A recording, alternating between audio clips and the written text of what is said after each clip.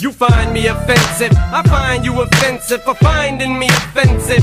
Hence, if I should draw the line, any fences? If so, to what extensive? Any should I go? Cause it's getting expensive. Being on the other side of the courtroom on the defensive. They say I cause extensive psychological nerve damage to the brain when I go to lengths this far at other people's expenses. I say you're all just too goddamn sensitive. It's censorship and it's downright blasphemous. Let's sing this shit down, cause I won't stand for this. And Christopher Reeves won't sit for this neither. And let's clear this up too. I ain't got no beef with him either. He used to be like a hero to me. I even believe I had one of those 25 cent stickers on my refrigerator right next to Darth Vader. And Darth must have put a hex on him for later. I feel like it's my fault cause of the way that I stuck him up in between him and Lex Luthor. I killed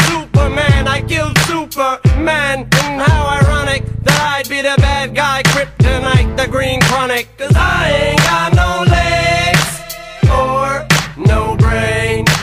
Nice to meet you. Hi, my name is. I forgot my name. My name was not to become what I became with this level of fame. My soul is possessed by this devil. My new name is Rain Man.